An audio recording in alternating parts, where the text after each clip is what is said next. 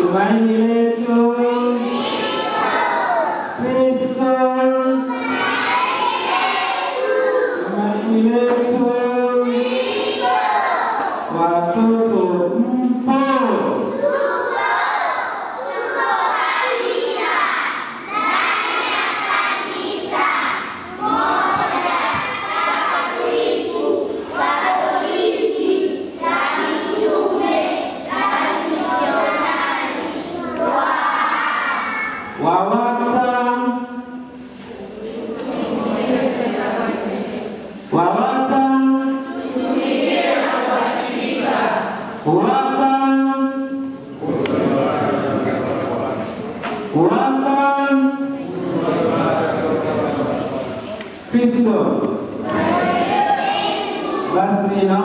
nitumie muda mfupi nitoe semina kwa sababu watu taanza semina hii kwa kusoma neno la Mungu kutoka Injili ya Mathayo sura ya saba aya ya ishirini na nne hadi ishirini na saba.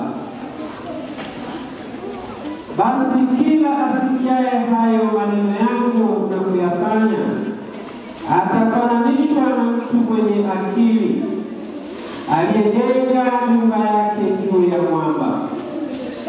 Mvua ikanyesha, mafuriko yakaja, pepo zikavuma, zikaipiga nyumba ile isianguke, kwa maana msingi wake umewekwa juu ya mwamba.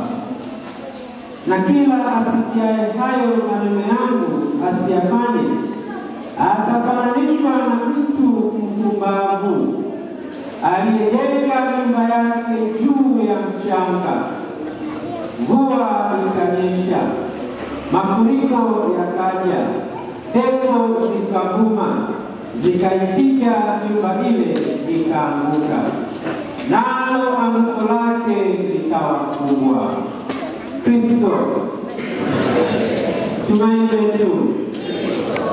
Wapendwa katika Kristo, jana tulikuwa na ibada ya misa takatifu ya Mtakatifu Yosefu ambaye ni msimamizi wa kituo cha malezi ya waseminari wanaojiandaa kwenda seminari kubwa, ambapo kituo kile kimewekwa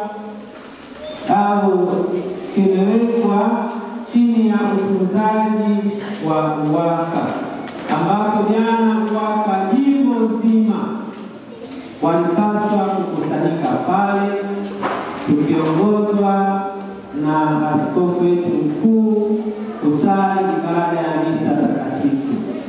Kama ilivyowacha wanavyokwenda kule Kiawana siku ya Mtakatifu Yosefu, lakini pia na mama yake Monika.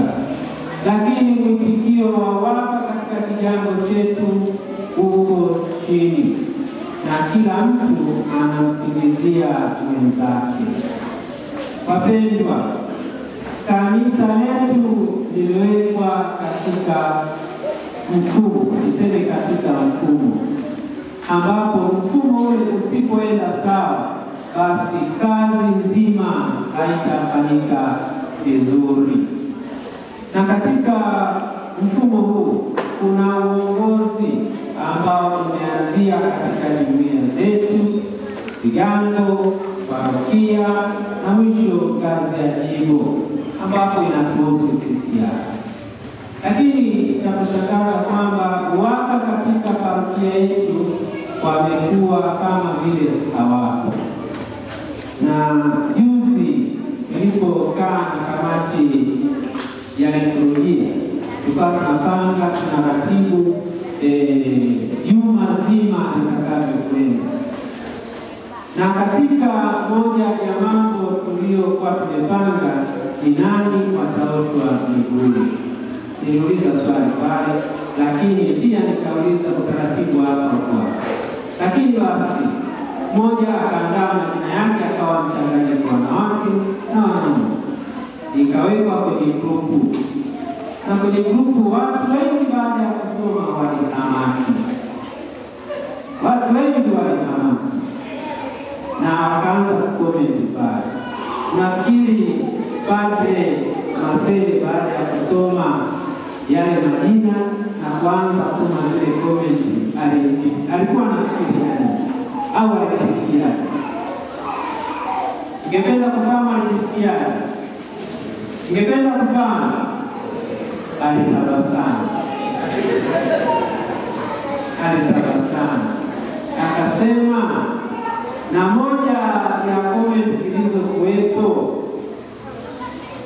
alisema, je, wanaume katika kigango chetu hawako kabisa? Wanaume katika kijango chetu hawako kabisa? Na hii ikanirudisha darasani zamani kabisa, nilipokuwa nasoma falsafa. Nasema falsafa inaanzaje? Mtu anaanzaje au kuongea kuhusu mambo ya falsafa? Au watu wa mwanzo walianzaje kutafakari juu ya falsafa? Wanasema kwamba falsafa inaanza kwa kushangaa au kushangaza wanda. Mtu anawana ana hamaki, baada ya kuhamaki anaanza kutafakari, je, kitu hiki kinatokeaje na kinakwendaje na mwendelezo wake unakuwaje? Vivyo hivyo sasa, watu pale wakaanza kuhamaki, na ule ndio mwanzo wa kufikiria. Mwanzo kama ulikuwa umelala, unaanza kuamka unapopata jambo jipya. Lakini sentensi iliyonifurahisha, je, wanaume katika kijango chetu hawapo? Hilo ndilo lililonifurahisha, likanifanya nitabasamu zaidi, na nikasema katika hilo basi utakuwa ndio mwanzo wa mjadala wetu katika kuosha miguu na kufanya nini. Hilo ni swala la Alhamisi, wala hapa tutalizungumzia. Ukitaka kulijua, jo ushiriki misa takatifu ya Alhamisi. Lakini katika kushirikishana mambo hayo, nilisema kwamba nani wawajibike katika kuosha miguu na pia katika kusoma vituo vya njia ya msalaba. Tunasema tuna jumuiya kumi na sita.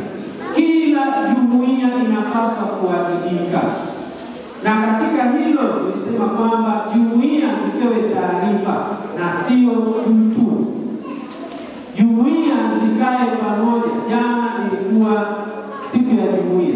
Jumuiya zinapokaa pamoja, wanapotafakari juu ya hilo, watoe mtu mmoja kwa ajili ya njia ya msalaba kituo kimoja, lakini pia kwa ajili ya kutoa mtu wa kuosha mikono, na si kwamba kiongozi wa kigango ampigie simu mtu.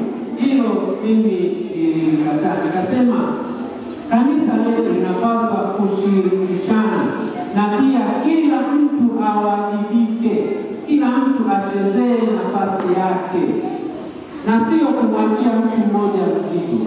Tunajisahau, tunasinzia kwa sababu tunaona mtu mmoja atatufanyia. Mara moja zilikuja barua ya kuchangisha michango hiyo ya kwenda eh, katika uwaka jiwe, zikagaiwa katika tena, walikuwa wanampelekea mtu mmoja mmoja.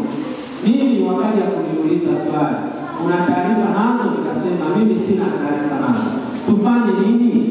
Nikamwambia viongozi, kaeni pamoja kama kigango, na pia kama kuna mtu kuna ushirikiano na parokiani, wote mkae kwa pamoja, muone nini cha kufanya. Na nirudie kusema kwamba kitu ninachokataa ni kwamba mtu kutoka nje atuamulie mambo yetu.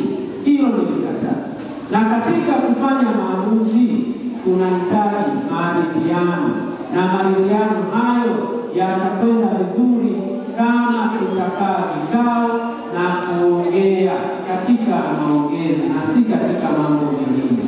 Tukikaa kimya, basi tutakuwa tunaambiwa kila kitu, tunaambiwa kila kitu kando, na sisi tutakuwa tunapata tu. Jumapili iliyopita nilitoa hali katika makuzi kuanzia mtoto mdogo mpaka mtu mzima, na katika kila hali inakuwaje mtu akue.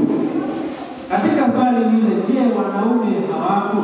Hilo nalo nalotutoa sisi usingizini, ituamshe wanaume wa Katoliki. Nimeanza kusoma neno la Mungu hapa, nasema kuwaka ni nini? Nguzo imara katika hekalu la Bwana. Sasa ile nguzo imejengwa katika mchanga, upepo ukaja, mvua ikanyesha, tetemeko likali, dhoruba ikali, matokeo yake naanguka, na tena nguvu lake ni kubwa. Kwa hiyo tungependa mara zote na watu kwamba tutafute namna ya sisi kuwasiliana. Pamoja moja nilikaa na wa watu kaa, swali nililowauliza, je, ni njia gani tunayotumia katika mawasiliano? Ni njia gani tunayotumia katika mawasiliano? Ziko njia nyingi, lakini wakaniambia kwamba njia mojawapo ambayo ni ya haraka na rahisi kwa sasa, wakaniambia wana grupu lao la WhatsApp ambapo kama kuna taarifa yoyote basi wanapewa na kurahisisha hilo, kuona kwamba BAWATA wa kigango chetu wanapata ugumu kupata taarifa kutoka dekania pamoja na jimbo. Nikawapigia simu viongozi wa jimbo na wadekania, nikawaelezea hali ya kigango chetu na namna mwelekeo wetu unapoelekea tena kwa leo, na wakasema hilo tutalitekeleza mara moja. Na yule mwenyekiti wa dekania akaniambia, Padre, utakapomaliza kuongea tu na mimi hapa nitampigia simu mwenyekiti wa kigango chako. Nadhani alipigia na wakaongea na mambo yakaishi. Lakini sisi waka tuna shida gani? Tutafute njia ya mawasiliano ambayo itapenda kwa haraka. Kanisa sio la mtu mmoja. Hata mimi nikisema kwamba niko hapa Kigamboni ni kama padre kiongozi, lakini kanisa sio la kwangu. Lakini napaswa tunapaswa kusafiri pamoja. Hatupaswi kumwacha mtu nje, wala hatupaswi kumwacha mtu atangulie zaidi mbele yetu. Tunapaswa kusafiri pamoja. Kristo anapotazama kanisa Anapolitazama kanisa anatoa mfano wa juya. Juya ni kama kokoro. Kokoro ni wangu wa kuvulia samaki, ambapo wangu ule unapovua samaki unachukua kila kitu: samaki, mawe, konokono, vyura, udongo na chochote kile kizuri na kibaya, lakini vyote vinabeba. Na baada ya hapo, wakifika pwani, wanaanza kuchagua hivi cha kutumika, yupi samaki mzuri, yupi samaki mkubwa anayefaa kuliwa, na yule mbaya na chochote kibaya kisichofaa kuliwa, basi kinarudishwa kama uchafu. Ndio kanisa letu lilivyo. Kwa hiyo ningependa kwa watu viongozi tuamke tutoke usingizini, tumelala. Na ndio maana katika mambo yote, na mmoja akasema, je, mwingine akauliza swali akasema, je, UWAKA iko kwa ajili ya michango? Wanaweza tukauliza WAWATA, WAWATA, je, WAWATA iko kwa ajili ya michango pekee? Naomba hili swali nisilijibu mimi. Naomba nisilijibu mimi. Naomba mwenyekiti wa WAWATA anijibu.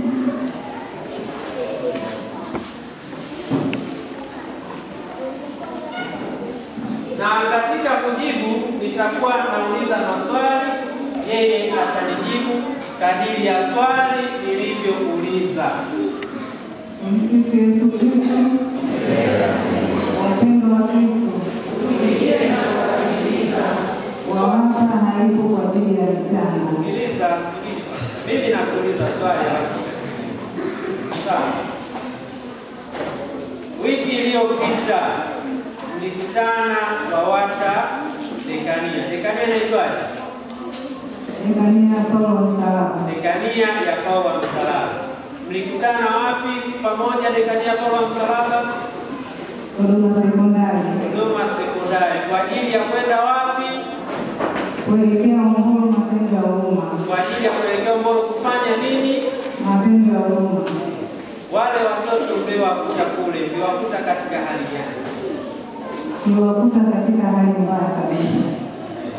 Sawa.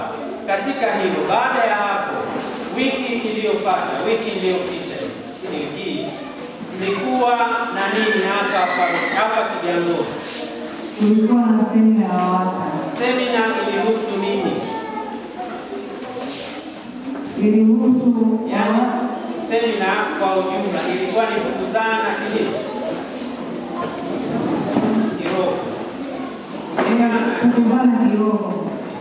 Je, waliokusanyika ni wale tu wanaotoa michango? Hapana, Mwitikio wake ulikuwaje? sio mzuri, Sio mzuri, lakini watu walifanya nini? walifika Kuonesha kwamba mwanzo ni mkuu, lakini wapo watu waliokuja na leo tena WAWATA jioni, mna tendo gani? mapendo ya huruma Kigango. Sawa, naona lakini pia WAWATA wana jukumu la kuchangisha michango kama ilivyokutegemeza nyumba ya padri. Tuliona nafasi yao walivyoitumia.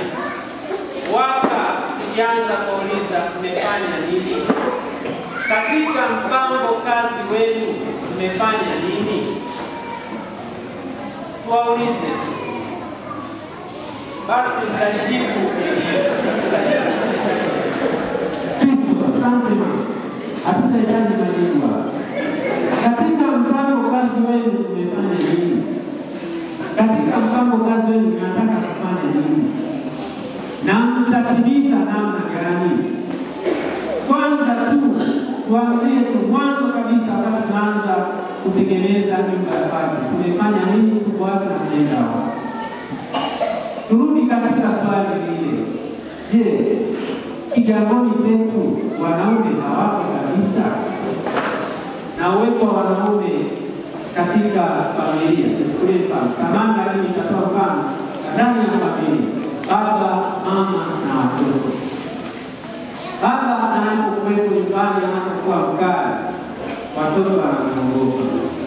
Anapoenda kulala, watoto wanajua kwamba baba yuko ndani amelala, na kama kuna mtu anakuja pale akitaka kujua baba yuko au hayuko, atasikia. Watu wote wakiwa wamelala watasikia nini? Watoto kujua kwamba baba yuko au hayuko, watu wakijua baba yuko au hayuko, hata kama amelala usingizini, atakuwa anakoroma. Ule mkoromo hauni kwa bahati mbaya, ni ulinzi ndani ya familia ni ulinzi ndani ya familia.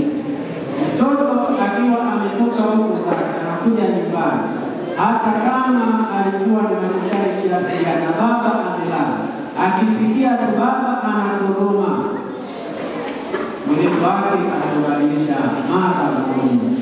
Basi napenda na sisi watu tuwe kweli nguzo imara ya hekalu la Bwana tuwe kweli walinzi wa familia katika kijana chetu. Mwisho niwaambie, katika michango ile tulikuwa tumewekwa peke lakini baadaye wakaongea na kuwaka jimbo tukaunganishwa na parokia. Sio kitu kibaya wala sijakataa. Na katika parokia Mtakatifu Inyasi wa Loyola tulipaswa kupeleka shilingi milioni tatu na badala yake zimechangwa shilingi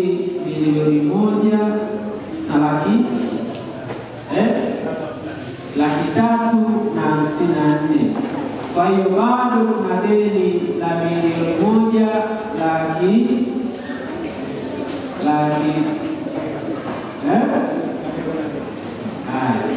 naenda kupiga hesabu. Na niseme hapa kwamba katika lile deni Baba Askofu Mkuu amewambia hivi wale viongozi wa UWAKA ambao hawatatimiza ule mchango aliokabidhiwa ya pili ya mwezi wa tano atawaita pale ofisini kwake waende wakaongee naye vizuri. kesho. Kwa hiyo tuna wajibu tu, tujiulize tena, je, wapa katika kiganjo chetu hawako kabisa? wapa katika kigango chetu hawako kabisa. Tena sentensi unajua iendeleaje pale? Mpaka tunawaomba WAWATA watusaidie. Tunaridhika na hilo UWAKA? Niwaulize UWAKA, tunaridhika na hilo? Tunaridhika na hilo?